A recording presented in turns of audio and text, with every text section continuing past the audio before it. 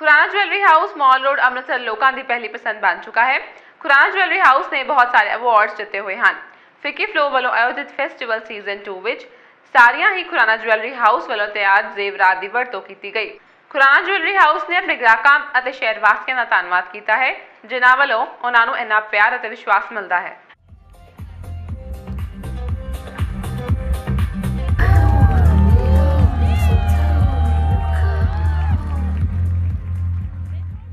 बहुत अच्छा लग रहा है और खुराना ज्वेलरी हाउस ने अप्रॉक्सीमेटली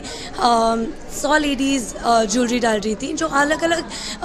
कंट्रीज़ को रिप्रेजेंट कर रही थी। जैसे कि कोई जापान को, कोई रोम को and you know like we put a best foot forward to give our exclusive designs and not just this even Malaika Arora Khan and Sandeep Khosla, the, fa the fashion icons of the country were also here. So it's been a great honor working with everyone and you know we can't thank Vicky Flow enough for this collaboration and you know like it, it was a great show and um, I'm sure that um, people also loved the show and the response was very good.